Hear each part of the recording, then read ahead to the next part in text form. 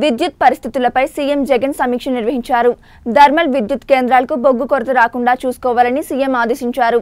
సింగరేణి సహా coal India తదితర సంస్థలతో నిరంతరం సమన్వయం చేసుకోవాలని జగన్ సూచించారు. పవర్ ట్రేడింగ్ కార్పొరేషన్ నుంచి నూట డెబ్బై మెగావాట్ల విద్యుత్ కూడా అందుబాటులోకి వస్తుందని సీఎంకు అధికారులు తెలిపారు. కావాల్సిన విద్యుత్తును సమీకరించుకోవాలని సీఎం ఆదేశించారు.